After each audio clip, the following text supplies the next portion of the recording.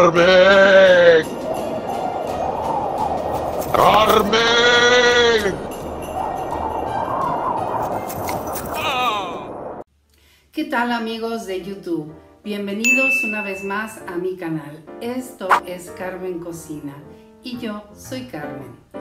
El día de hoy voy a preparar, como cada lunes he estado preparando una conserva diferente un regalo gourmet para los amigos, la familia, los vecinos, para quien quieras.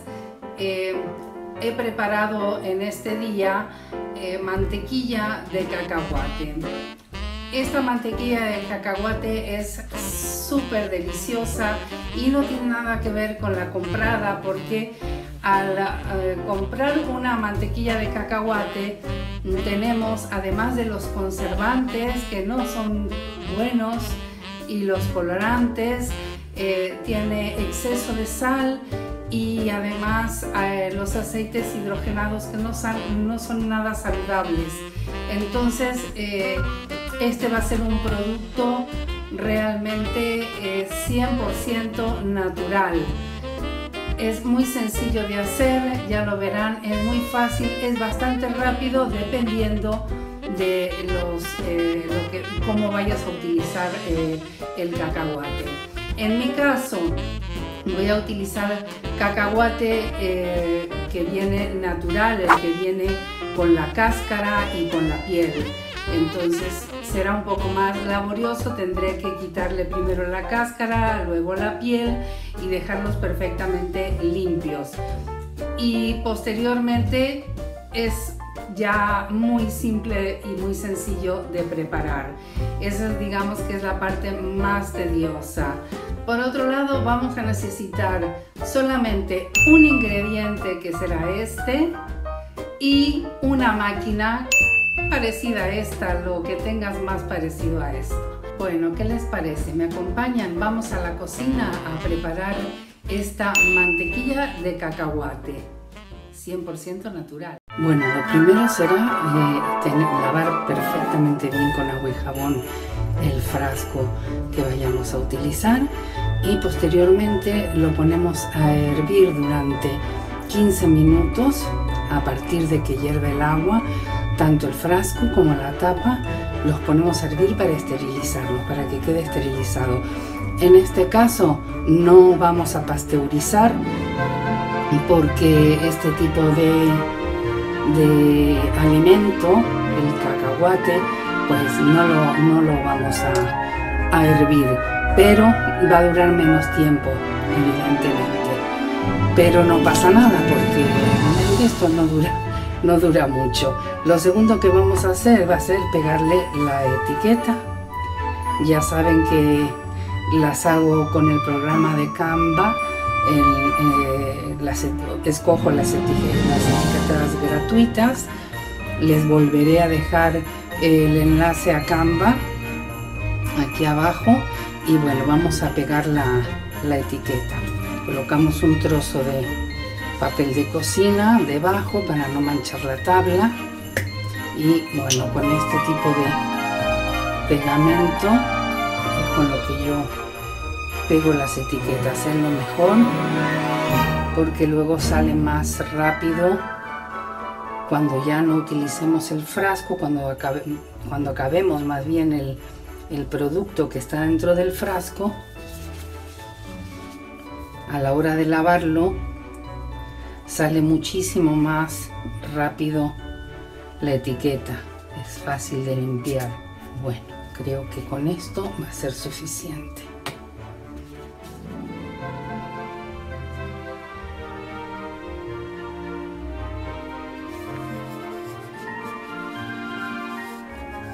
Listo, ya quedó.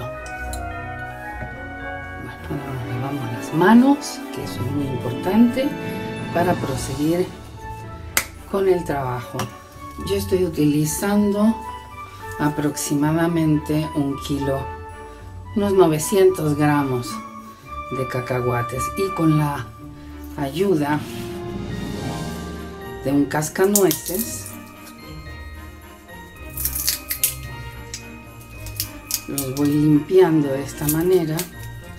Primero les quito esta parte y posteriormente quito ah, la cascarilla. O sea la, la pielecilla. Yo sé que esto es un poco tedioso a lo mejor para muchos pueden conseguirlo ya pelado pero yo no me fío mucho del pelado porque generalmente trae sal sí o sí trae sal. Y mm, eh, lo ideal es que no traiga absolutamente nada de sal. Entonces yo con este estoy completamente segura de que no trae nada de sal. La piel sale muy fácil. Con un poquito de presiones ya, ya sale la. Y bueno, digamos que la parte más difícil ya la hemos terminado, que es más que difícil, es la más tediosa. hay que quitarles la piel siempre, además de la cáscara, porque la piel es muy amarga. Bueno, lo voy a cronometrar para saber exactamente cuánto tiempo nos vamos a tardar moliendo esto. Entonces vamos a colocar todo el, el maní que nos quepa, que espero que nos quepa todo. Bien, vamos a comenzar a moler esta cuestión.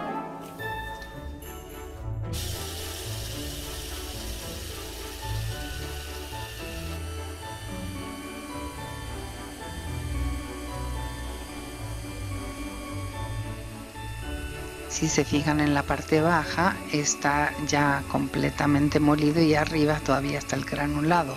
Eso hay que ir moviendo un poco con la eh, espátula o con el eh, mezquino creo que le llaman también. Sí, hasta el momento estamos llevando 2 minutos con 55 en la moledora todavía falta. Esto se lleva un ratillo, ¿eh?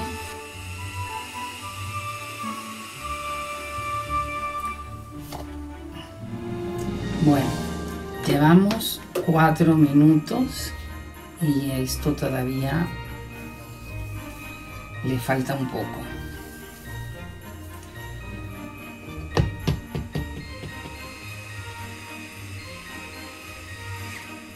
Vamos pausando un poquito la, máquina porque la máquina se calienta mucho para que no se nos sobrecaliente y no se nos vaya a quemar.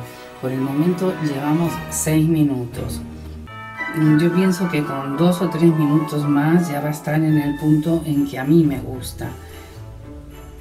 A mí me gusta que esté un poco menos granulada. Si se necesita un aparato de estos para hacer esta mantequilla de cacahuates, Nunca, soy honesta, nunca lo he hecho en la licuadora y mm, me da la sensación de que puede llegar a dificultarse un poco en la licuadora, pero todo es cuestión de probarlo.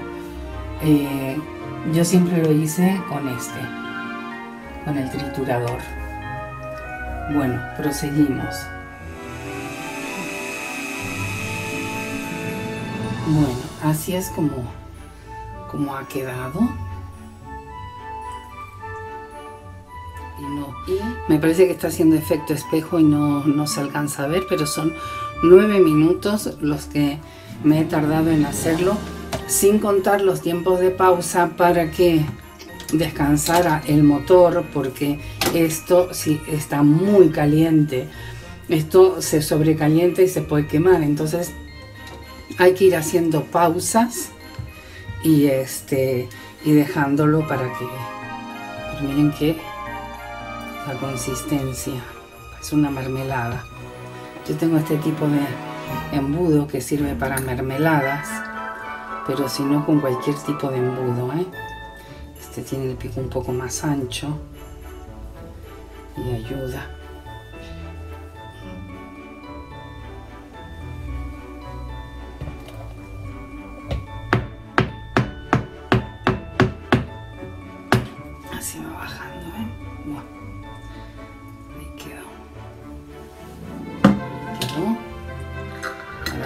Cerramos perfectamente bien.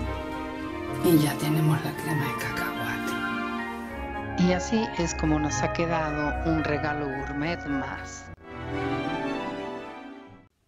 Bueno, aquí ya está lista la crema de cacahuate.